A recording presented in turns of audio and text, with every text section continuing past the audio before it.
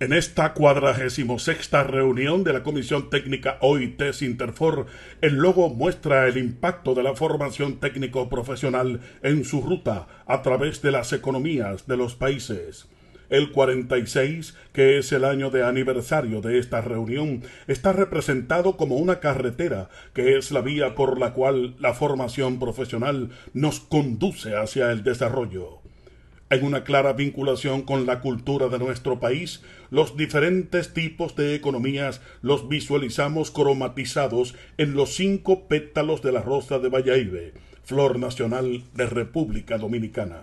Asimismo, el azul, en el número 46, hace referencia a la constancia, la mejora continua y la innovación, siendo también el color compartido entre la OIT Sinterfor y el Infotep.